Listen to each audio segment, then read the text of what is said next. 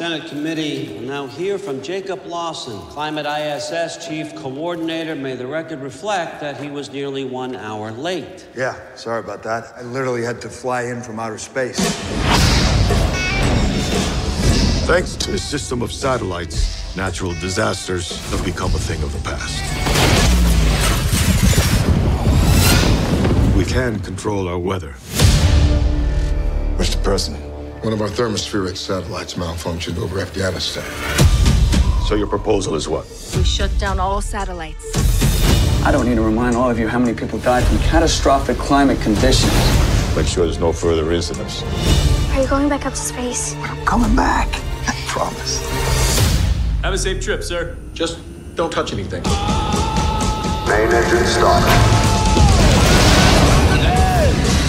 This is Mr. Jake Lawson. The Jake Lawson? You look much older than I would have thought. I, I mean, you, you look good. Am I getting fired? My access has been blocked. So satellite has a bad com. That happens. Not a satellite.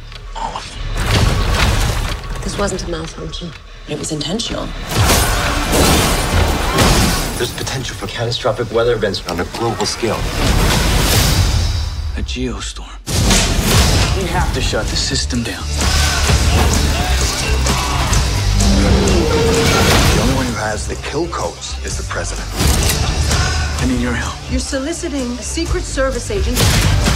Seriously? We're kidnapping the president in a self driving cab.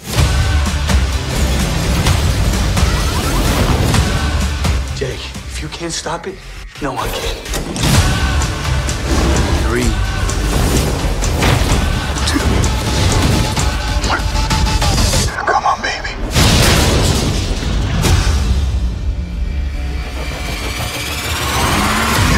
You're committing treason? Oh, yeah, I kidnapped the president. I've stolen state secrets. Yeah, anything I'm forgetting, honey?